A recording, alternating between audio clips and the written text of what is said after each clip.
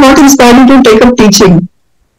So my dad is a teacher, and I have seen him uh, throughout my uh, you know years. I have seen him do this, and I've seen him love this. So I think that is where I understood the nobility of this profession, and also you know whenever we used to go out, his students used to come, and even today I think it's been what it's been over 35 years that he's been teaching, and even today I get uh, messages from people, you know, like how is sir, how is he doing?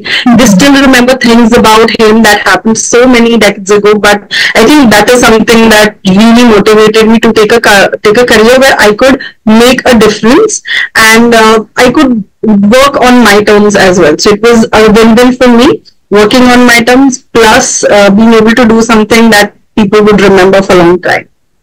Wow. Nice.